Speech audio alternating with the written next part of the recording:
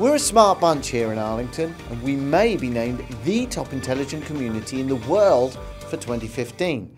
We'll tell you about that later in our program, but first, have you noticed the water tasting a little differently lately? No, you're not going crazy, it actually does. Each year, the Washington Aqueduct temporarily changes the water disinfectant it uses to clean the pipes and maintain high water quality for customers.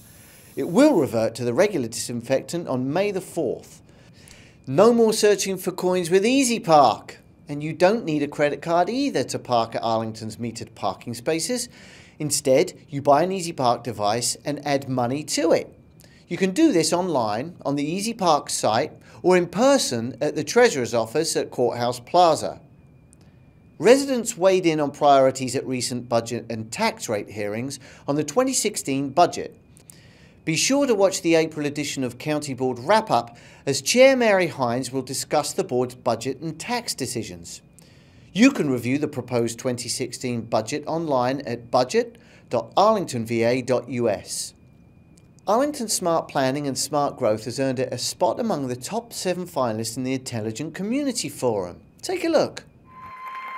The Intelligent Community Award is actually given by an organization called the Intelligent Community Forum in New York. Uh, there was a group of uh, people who founded this uh, uh going back uh, 15 years and uh, essentially it started with people who were in telecommunications, satellite communications, and they started this out basically in terms of satellite communications and broadband systems. But then they joined up uh, with this gentleman from Canada who was a urban planner and basically expanded the scope of what they were doing to look at cities that were using broadband communications in innovative ways.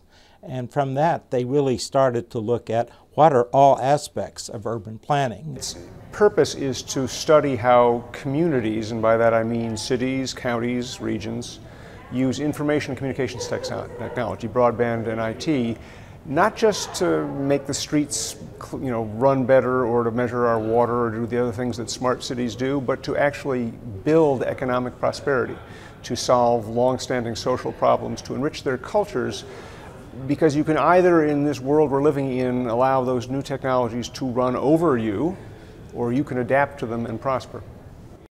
And when you recognize that we're competing with over 300 communities around the uh, world, and the fact that uh, we have now reached twice the top seven, that's very impressive. So uh, it's uh, very uh, significant that uh, we are competing against only three cities in the United States and that uh, we have been selected uh, to be uh, the top uh, three in the United States in terms of information technology and services and applications. To learn more about the Intelligent Community Forum, go to their website at intelligentcommunity.org. We'll find out if we won in June, but even if we don't, it's an honour to be nominated and share top billing with only seven other communities in the world.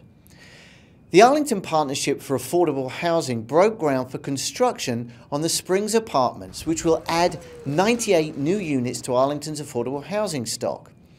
Arlington has seen a dramatic decrease in the amount of affordable housing in recent years. The Affordable Housing Study and Draft Master Plan will provide a framework for increasing affordable housing options for residents. Community review of the plan is continuing throughout the spring. To learn more about affordable housing options in Arlington, check our website at arlingtonva.us and search housing. The affordable housing in Courthouse are classified as historic resources and they will continue to be affordable even after the new development there.